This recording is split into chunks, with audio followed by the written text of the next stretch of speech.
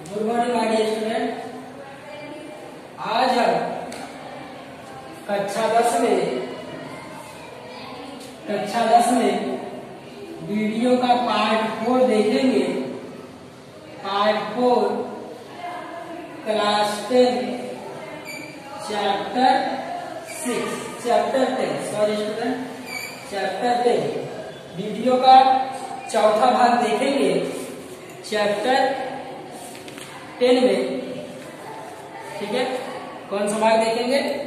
चौथा भाग देखेंगे वीडियो का। चैप्टर टेन पार्ट फोर में। अब हम चलिए, आज डिस्कस करते हैं। इसके पहले जो वीडियो में हमने अनंत पर जब बिंब की स्थिति थी तो प्रतिबिंब की स्थिति क्या होगी? प्रतिबिंब का आकार कैसा होगा? उसके विषय में हमने अवतल दर्पण का किरण आरेख उत्तल दर्पण का किरण आरेख अवतल दर्पण का प्रतिबिंब और उत्तल दर्पण का प्रतिबिंब पढ़ा फिर आप पेज नंबर एट्टी वन के सारणी पे आ जाइए। उसका दूसरा टॉपिक है आपका कि प्रतिबिंब की स्थिति सी से परे। बिंब की स्थिति क्या है? सी से परे। बिंब की स्थिति क्या है? सी से परे। प्रतिबिंब की स्थिति क्या है? एफ़ तथा सी के बीच। एफ़ तथा सी के बीच। एफ़ तथा सी के बीच। प्रतिबिंब की स्थिति क्या है? तथा सी के बीच। अब कह रहा है कि प्रतिबिंब कैसा बनेगा तो प्रतिबिंब बनेगा छोटा। प्रतिबिंब कैसा बनेगा तो प्रतिबिंब बनेगा आपका छोटा। प्रकृति क्या होगी वही वास्तविक और उल्टा। वास्तविक और उल्टा। वास्तविक और उल्टा। एक चीज़ आपको बता दूँ, मैंने आपको दर्पण बताया था कि जब प्रतिबिंब आभासी और सीधा होता है उसे हम पर्दे पर प्राप्त नहीं कर सकते। जब प्रतिबिंब वास्तविक और उल्टा होगा, इसे हम क्या करेंगे? पर्दे पर पर्दे पर प्राप्त कर सकेंगे। उम्मीद है कि आपको समझ में आया होगा। चलिए हम इसका किरण आरेख खींचेंगे। क्या खींचेंगे? इसका अब हम किरण आरेख खींचेंगे। चलिए, हम किरण आरेख खींचते इसका किरण आरेख खींचते हैं। आपको आ जाना है कहाँ पर? पेज नंबर आपको आ जाना है पेज नंबर 182 पर। कहा जाना है? पेज नंबर 182 पे आ जाना है। पेज नंबर 182 पे आने के बाद आपको चित्र ए में आ जाइए आ जाइए चित्र? ए में आ जाइए।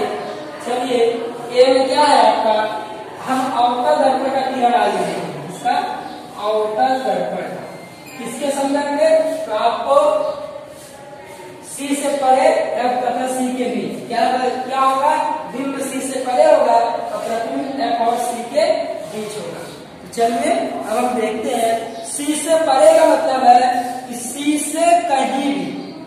सी से परे का मतलब है कि प्रतिबिंब सी से कहीं पर भी आएगा। तो चलिए अब बनाते हैं। ये हो गया आपका अवतल दर्पण ठीक है स्टूडेंट क्या ये?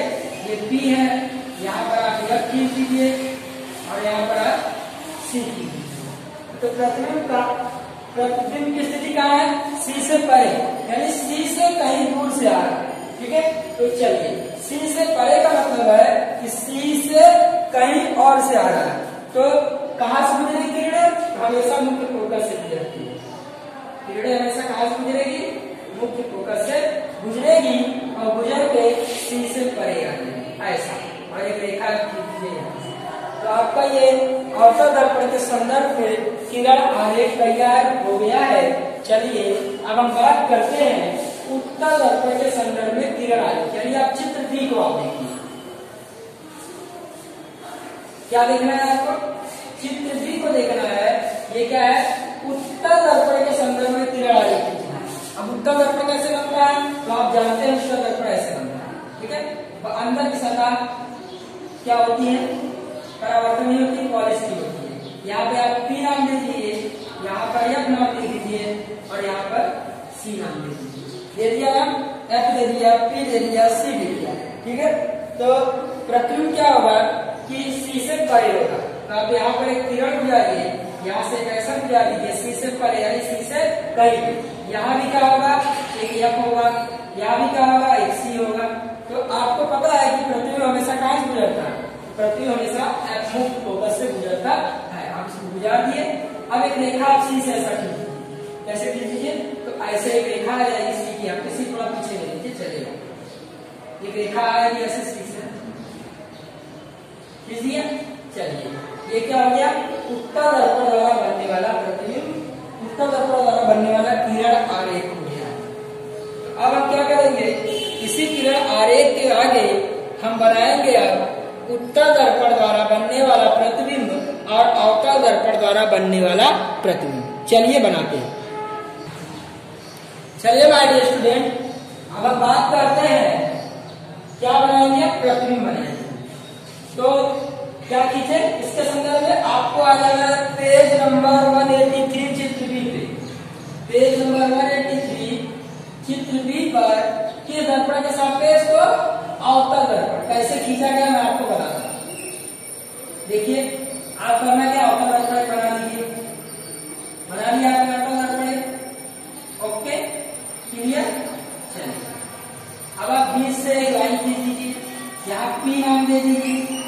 यहाँ पर एफ़ नाम दे दीजिए।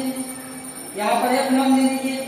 सॉरी थोड़ा और दूर दे दीजिए। चले यहाँ एफ़ नाम दे दीजिए और यहाँ पर सी नाम दे दीजिए।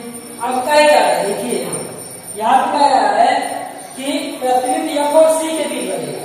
यानी जो प्रतिबिंब बनेगा वो यहाँ पर बनेगा। ध्यान दीजिए जो प्रतिबिंब बनेगा यही कहीं बनेगा और प्रतिबिंब कहा सी से परे यानी सी से दूर कहीं पर प्रतिबिंब क्या है? सी से दूर है। चलिए, अब हम एक वस्तु यहाँ रख देते हैं, ए बी। क्या रख देते हैं, ए बी। ए बी एक वस्तु है। ए बी क्या है? एक वस्तु। सी से परे है, सी से कहीं दूर है। हो गया? सी से परे हो गया। चलिए, अब आप रेखा किरण रही एक रेखा आप यहाँ से खींचिए। हो गया? एक रेखा आप यहाँ से खींचा। थोड़ा इसको बड़ा कर देते हैं तो आपको एकदम ब्रेक कर दिया तो थोड़ा बड़ा कर यहाँ ए है एक रेखा आपने खींच दी ये रहा, ठीक है?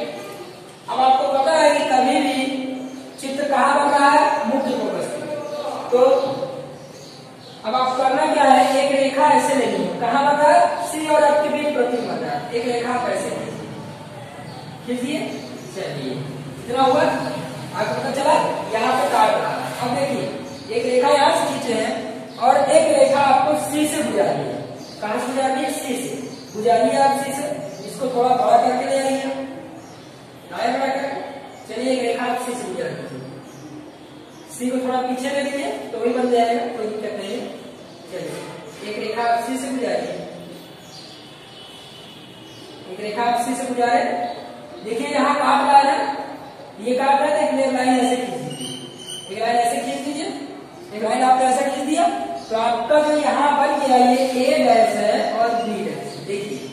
अब आपको मैं बताता हूँ, आपने इतना सीखा, देखिए। ये बिंब कितना इतना बड़ा है, और प्रतिबिंब कितना इतना छोटा है, देखिए। प्रतिबिंब कैसा बना है? छोटा बना है। प्रतिबिंब कहाँ बना है? एफ़ और सी के बीच बना है। एफ़ और सी के बीच प्रतिबिंब बना है। तो प्रतिबिंब कैसा वास्तविक का उल्टा है। ठीक है? इतना आपको समझ में आया? तो चलिए, अब हम बात करते हैं यहाँ पर। हम बात करेंगे दूसरे चित्र की। तो इतना आपको समझ में आया होगा। चलिए हम अगले चित्र की बात करते हैं। ठीक है? उम्मीद है इतना आपको समझ में आया होगा।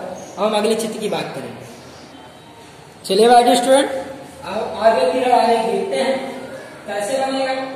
तो page number one eighty one पे आप फिर से आ जाइए। उसी सारणी के अंदर आ जाइए।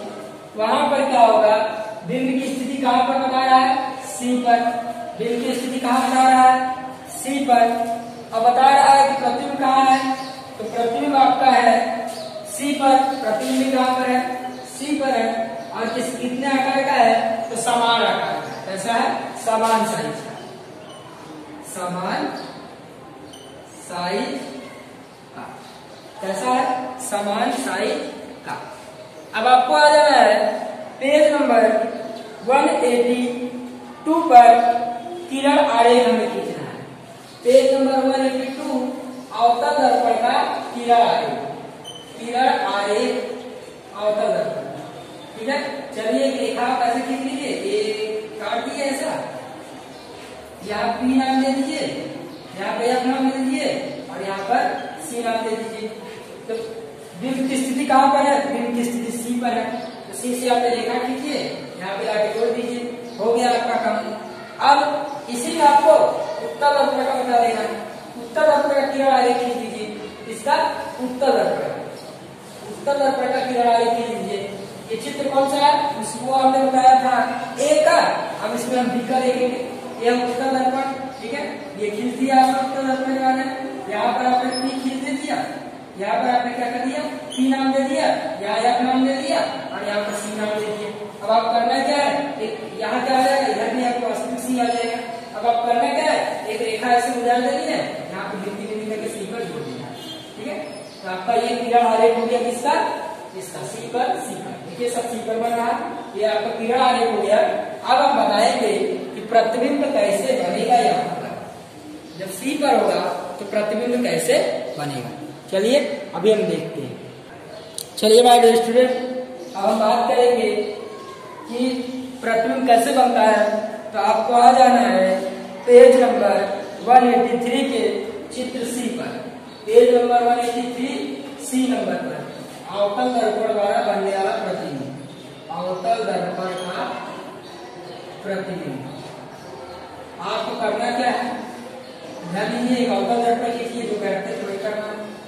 एक अवतल दर्पण आपने खींचा ठीक है? और आपने यहाँ पर नाम दिया पी यहाँ पर नाम दिया एफ़ और यहाँ पर नाम दिया सी कह क्या रहा है कि प्रतिबिंब कहाँ से गुजरेगा वस्तु कहाँ पर रखी है तो वस्तु रखी है सी पर यहाँ पर वस्तु रखी है देख लीजिए वस्तु कहाँ रखी है वस्तु रखी है सी पर ये वस्तु है ए बी ठीक है? वस्तु कहाँ पर है? ए बी है। चलिए, अब आप रेखा खींचिए खींचिए। चलिए हम शुरू करते हैं। किरण आई यहाँ से? क्या से आई? कहाँ से गुजरेगी तो आपको पता है, किरणें कहीं से भी आए। हमेशा मुख्य फोकस से गुजरती है। यहाँ आ गई ठीक है? अब करना क्या है आपको? एक किरण आपको और गुजारनी है। यहाँ से फिर मुख्य फोकस से किरण गुजरेगी। आप देख लीजिए। यहाँ से किरण और आएगी। और देखिए आप यहाँ पर। यहाँ जाके दूसरे को काट देगी। और जहाँ पर काटेगी, उस पर एक लाइन आप खींच दीजिए और आपका प्रतिबिंब क्या हो जाएगा? देखिए, ये ए डैश है और ये बी डैश जहाँ काटा वही प्रतिबिंब बन गया नहीं बन गया? बन गया। देखिए आप, जितना बड़ा बिंब है, उतना ही बड़ा प्रतिबिंब है। यानी कि बिंब कहाँ पर है? देखिए सी पर है। प्रतिबिंब कहाँ पर है? प्रतिबिंब सी पर है। साइज़ क्या? है दोनों का साइज़ क्या है? बराबर है। प्रतिबिंब कैसा वास्तविक और उल्टा है उम्मीद है इतना आपको समझ में आया होगा? आज के लिए इतना ही। थैंक यू वेरी मच अब हम अगले वीडियो में जो सारणी में तीन बचा है उसके बारे में देखेंगे थैंक यू वेरी मच आज के लिए इतना ही। Thank you